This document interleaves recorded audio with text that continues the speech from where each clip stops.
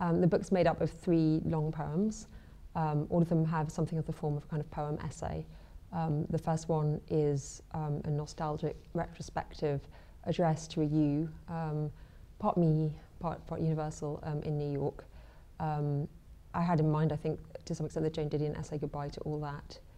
And it presents um, you engaged in a lot of different types of activities in the city, including some that I think don't get represented in, in poetry very much, um, from certain kinds of sexual experience, including you know, an embarrassing um, hookup with an, with an ex met at a bar, to a lot of material about work, um, working in an office job, um, working on a spreadsheet, um, and the way that the mind turns, turns in on itself and, and turns to observe the city uh, when, when bored in these kinds of environments. Um, and the, sec the second poem um, is very essentially about repetition. Um, it, is, it begins with a quotation from Heraclitus, uh, who's a Greek philosopher that I studied as an undergraduate. Um, and it's divided into numbered sections which, which range from um, things set in history, Henry James um, sitting in his house at Rye at the beginning of the First World War, ends with the Trinity tests. Um, um, it also contains quite a lot of material about San Francisco, which is where I lived, and particularly about processes of gentrification and I guess recycling um, of, of sort of cultural memes in the city.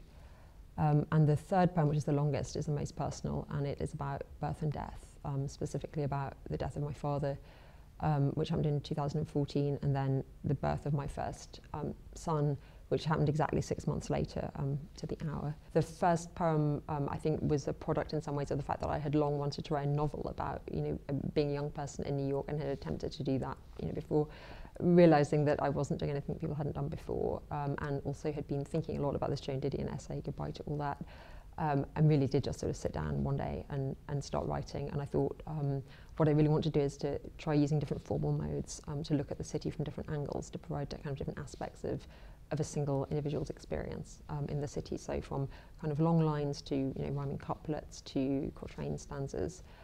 Um, the second poem, um, I wanted to, to try to do something that was a bit more philosophical and um, essayistic, I suppose, in terms of uh, this inquiry into repetition um, as, a, as a problem, you know, both in individual life and, and in historical processes. Um, with the second poem, um, you know, I, I wrote the, the different sections which are now numbered in order um, from the idea is from the easiest examples to the most difficult um, over quite a long period of time before, before threading them together into you know, a whole. Um, and the third poem um, you know, did, did begin with the sort of peculiar collocation of these two experiences, my father's death and my son's birth. And I suppose the fact that as a, you know, a basically healthy person, I had never really been in a hospital before my father was sick. Um, he, was, he was in hospital for a couple of months before he died. And then, of course, you know, during the pregnancy. So quite a lot of the, um, the third poem is set in, in and around sort of hospital settings rather than in the kind of expansive open spaces, you know, the streets, the bars of, of the first poem. It's a more kind of interior poem.